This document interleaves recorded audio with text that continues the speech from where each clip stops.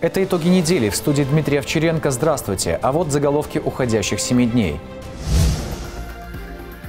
Единое правило – популярный бренд и тарифная ставка. Рост зарплаты компенсирует увеличение стоимости на тарифы ЖКУ. Какой лимит?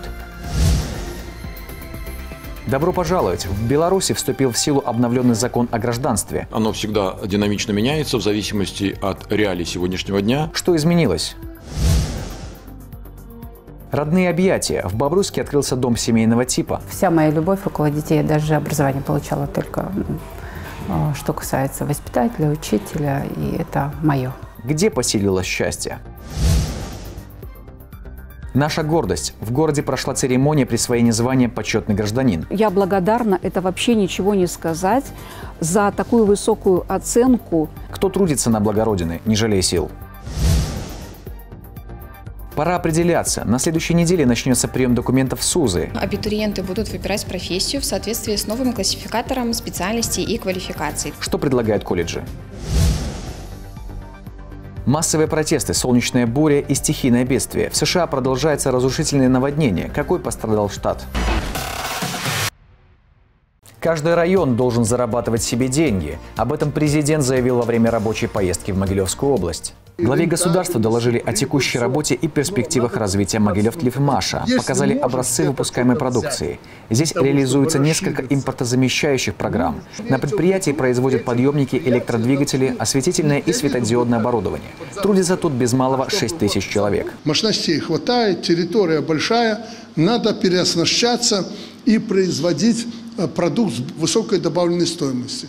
То есть не просто там что-то, ну, грубо говоря, какую-то пленку произвести и продать, а из этой пленки что-то сделать. Очень надеемся, что новая э, команда, ребята, модернизацию эту закончат и создадут чистое производство. Дисциплина должна быть железобетонная. Никто же не требует ничего лишнего. Ты руководишь холдингом «Лифтмаш», ну и отвечай за него. Вот за завод, за это, за людей. И вот каждый, каждый, вот свое место. В то же время сварщик – монтажники, прочие ребята, там, бухгалтера, экономисты, вы на своем месте дайте свой результат. Но дисциплина, чтобы была. Потому что отсутствие дисциплины – это провал. Провал – это война. Все начинается с экономики. Все начинается. Возьмите Украину. Там же до специальной военной операции, вы же помните, они уже обрушили экономику, люди жили в жутких условиях и потихоньку-потихоньку шли к войне. Почему э, люди выходят там, Майдан и прочее, да, их подталкивают, подкармливают, но и внутренняя всегда причина должна быть.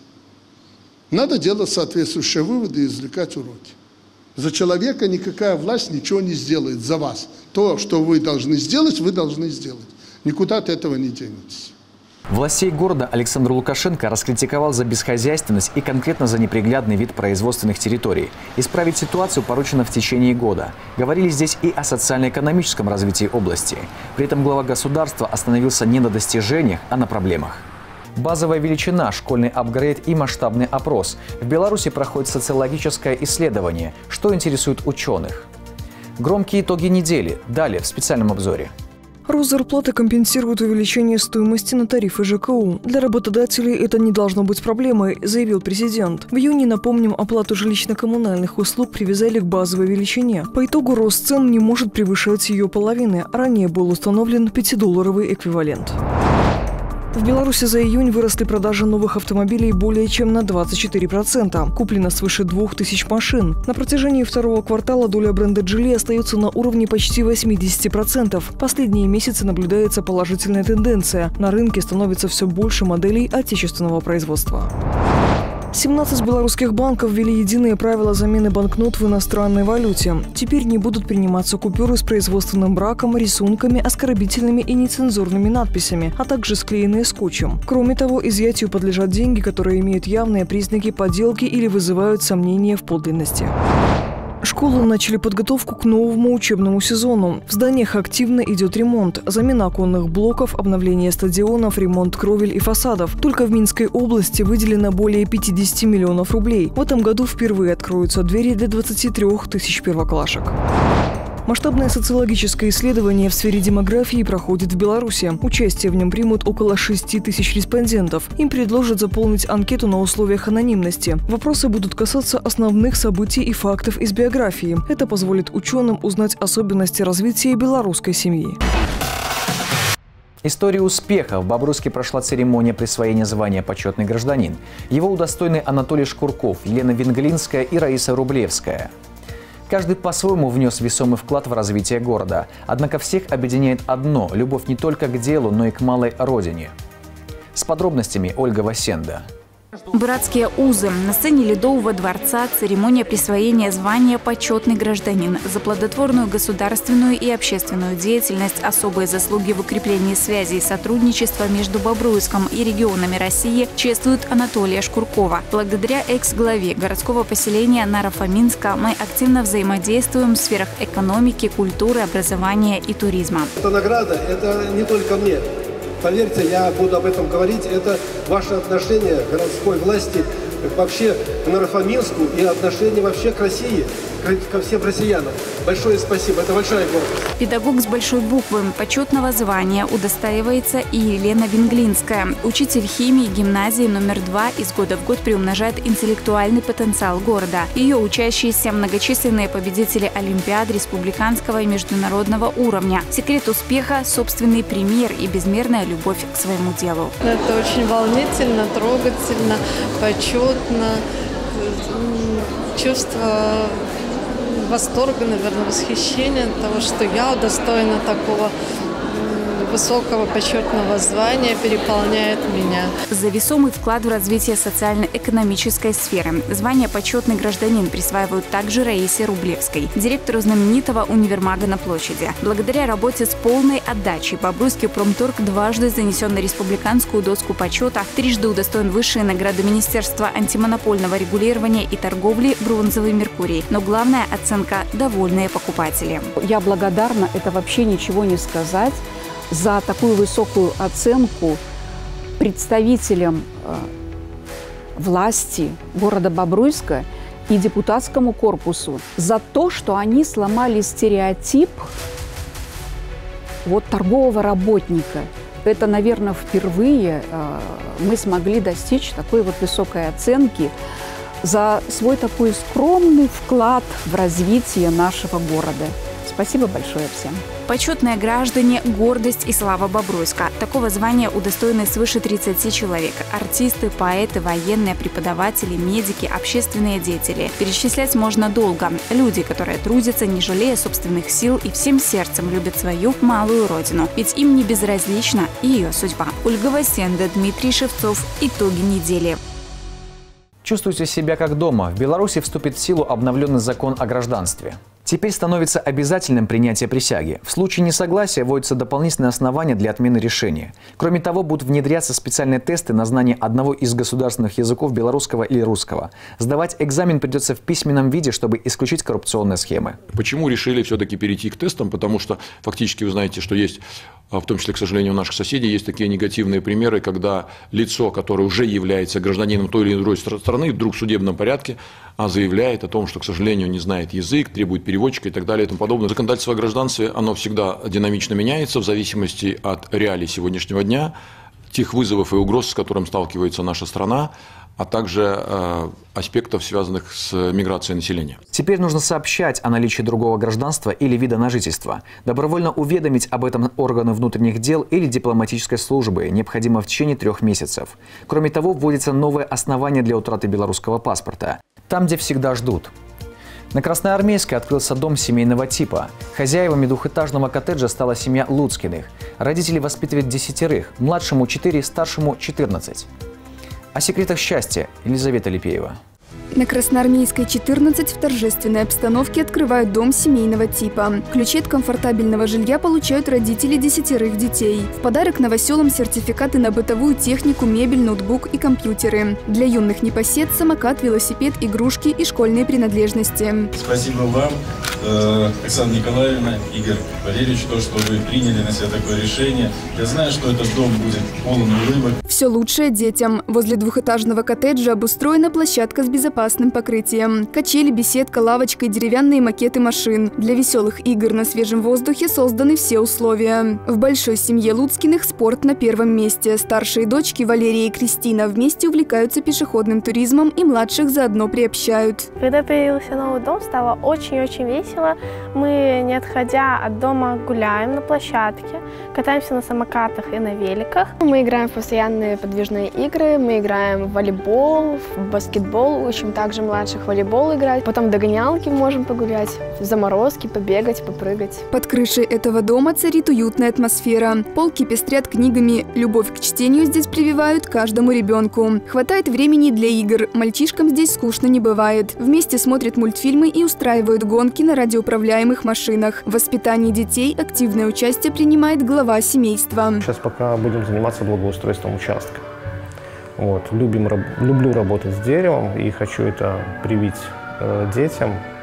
Вот. В планах поставить беседку, дополнить игровую площадку домиком, ну, мансарду может сделать что-нибудь еще. Но, опять же таки, с участием детей. Любим велопрогулки, э, походы на природу просто. Э, любим посещать другие города. В ближайшее время э, старший просит на рыбалку с ним съездить. Вот, планируем. Безграничная любовь. Хранительница очага и счастливая мама с детства знала, что создаст большую и дружную семью. Ведь сама росла в многодетной. Для нее дети – смысл жизни. Позади работа в доме малюток, садиках и школах. О воспитании женщина знает все и даже больше. Вся моя любовь около детей, я даже образование получала только а, что касается воспитателя, учителя, и это мое. Приятно быть с детьми, мне нравится, мне нравится с ними общаться, заниматься. Вот э, какие-то выводы их мне нравятся, заключения, жизненные позиции, которые они вот в своем вот детстве, вот как, как дети понимают. Они так хотят быть взрослыми. Хотя я им говорю, не торопитесь, все бы свое время. Но однако очень интересные дети. Один за всех и все за одного. Секрет семейного счастья у Луцкиных простой. Совместное времяпрепровождение, поддержка и уважение. Сердца мамы и папы наполнены любовью к детям, ведь каждый из них по-настоящему родной. Елизавета Липеева, Станислав Чечерин. Итоги недели. Интересы детей в приоритете. В стране вступили в силу изменения в порядке использования семейного капитала. Теперь проверяют сведения о несовершеннолетних. Если дети в социально опасном положении или взрослые лишены родительских прав, возможен отказ в использовании средств. К тому же нововведения касаются и жилья. Такую недвижимость обследует специальная межведомственная комиссия. Изучает помещение только с согласия собственника. К процессу привлекает представителей МЧС и Энергонадзора. Если найдут нарушения, власти вправе дать отрицательный ответ. При этом стоит отметить, выплаты для многодетных по-прежнему остались в том же размере. В семье назначается пособие по уходу за ребенком, и его размер также значительно. Сегодня он превышает мини уровень минимальной заработной платы. На первого ребенка мы назначаем 605 рублей. Если в семье воспитывается еще один ребенок э, в возрасте до 18 лет, то размер пособия уже 870 рублей, и он выплачивается на протяжении трех лет. Программа «Семейный капитал» работает уже более 8 лет. За это время депозитные счета открыли более 128 тысяч многодетных. Государство выделило свыше 3 миллиардов рублей. Одобрено около 70 тысяч решений о досрочном распоряжении средствами. Основная доля на улучшение жилищных условий. Гайд по поступлению. На следующей неделе начнется вступительная кампания в СУЗы. В этом году Бобруйский колледж открывает новые специальности. В технологическом можно будет освоить профессию социальный работник. В торгово-экономическом появятся интегрированные группы. К примеру, учащихся одновременно обучат сразу двум квалификациям – повар-продавец.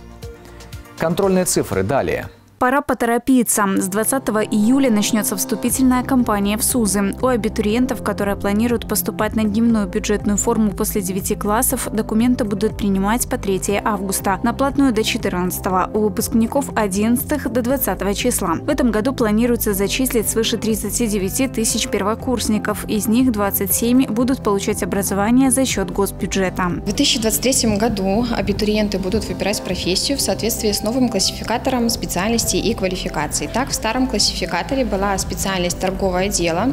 Э, в обновленной версии ее назвали торговое обслуживание. А специальность общественное питание на данный момент называется обслуживание и изготовление продукции в общественном питании. С этого года в Бобруйском торгово-экономическом колледже предлагают освоить сразу две профессии – повар-продавец. Раньше можно было получить только одну квалификацию. Здесь научат готовить изысканные закуски, фирменные блюда и кондитерские изделия. Плюс расскажут секреты сервировки стола. Контрольная цифра приема – 28 человек. Больше всего нравились э, именно практические занятия вот в этом кабинете, баре.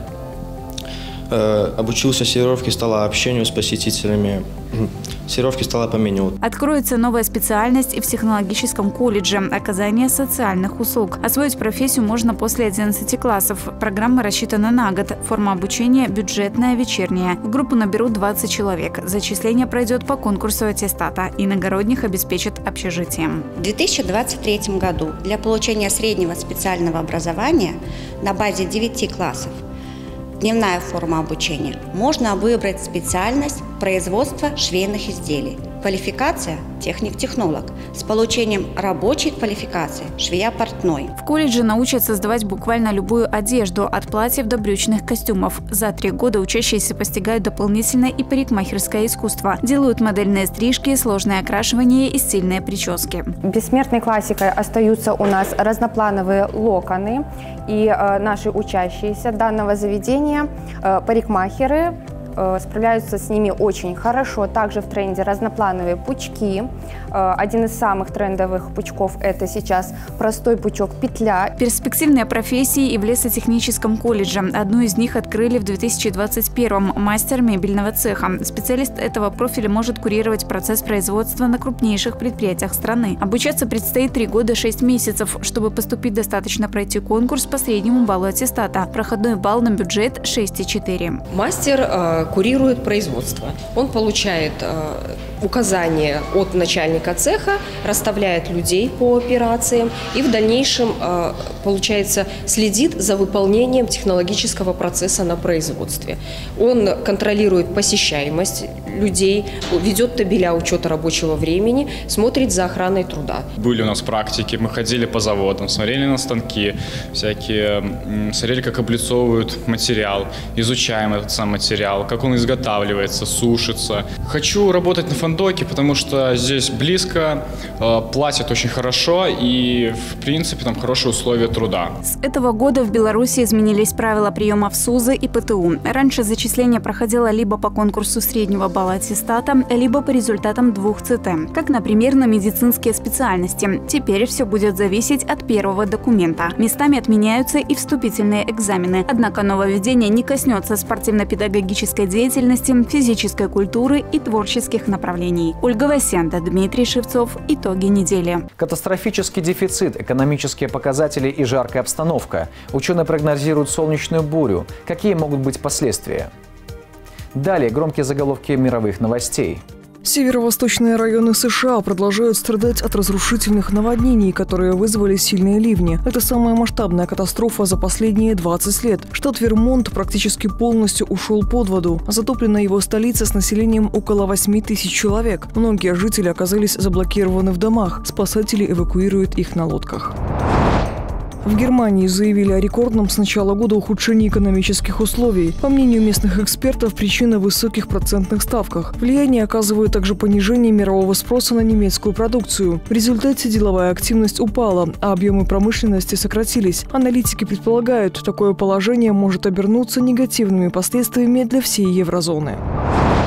Венеция испытывает катастрофическую нехватку врачей. Ситуация в ближайшее время будет только усугубляться. Власти пытаются привлечь к работе специалистов из других регионов, а также иностранцев. Тем, кто соглашается переехать в город на воде, обещают офис, помощь в поиске квартиры и бесплатное парковочное место. К слову, Италия – страна с самыми возрастными докторами в Европе. Медикам в среднем по 57. В Израиле продолжается волна манифестаций против судебной реформы. Они проходят каждую неделю с января этого года. Тысячи протестующих перекрыли ключевые автомагистрали и главный международный аэропорт страны. В центре Тель-Авива полиция применила водометы. Порядка 70 человек задержаны. По оценкам медиков пострадали как минимум 9 граждан и один полицейский. Ученые прогнозируют солнечную бурю, которая может вызвать интернет-апокалипсис к 2025-му. Солнце достигает пика своего цикла, из-за чего возможно серьезное нарушение в работе компьютеров и отключение электроэнергии. К слову, первая неделя июля стала самой жаркой за всю историю наблюдений. Экстремальные температуры бьют рекорды, и такая тенденция сохранится. Связано это с изменением климата. Такими уходящие семь дней увидели корреспонденты «Бобрус-360» и я, Дмитрий Овчаренко. Новая неделя, новые итоги. Увидимся.